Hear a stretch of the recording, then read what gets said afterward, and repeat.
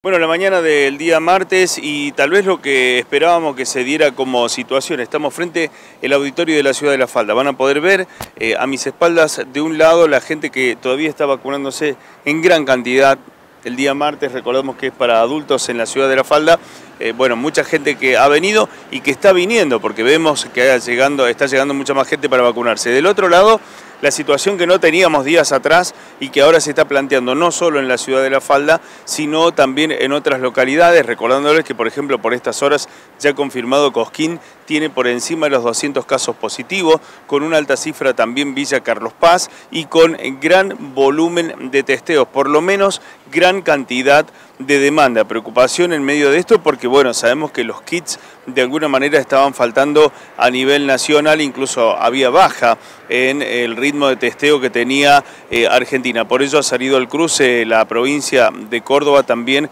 para solicitar el autotest, que sería fundamental por estos días cuando esta situación se está planteando con estas cifras, con estos números que ya superaron, por ejemplo, en la última jornada, los 5.500 casos en la provincia de Córdoba. La situación hoy, por lo menos, auditorio municipal de La Falda, con gran cantidad de personas vacunándose, pero también, lamentablemente, gran cantidad de personas para hacerse los testeos.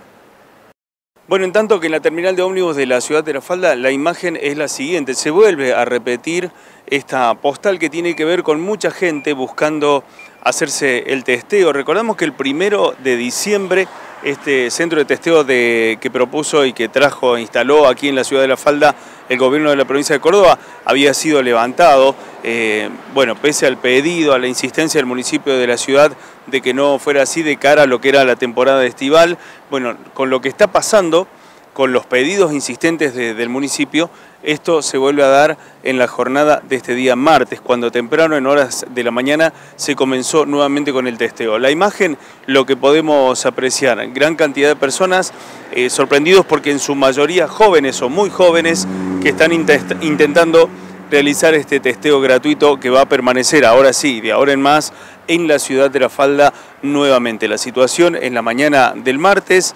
gran cantidad de personas tratando de testearse en el auditorio de la ciudad de La Falda, al igual que el centro de testeo de la provincia que ya ha vuelto a funcionar aquí en la terminal de ómnibus de la ciudad de La Falda.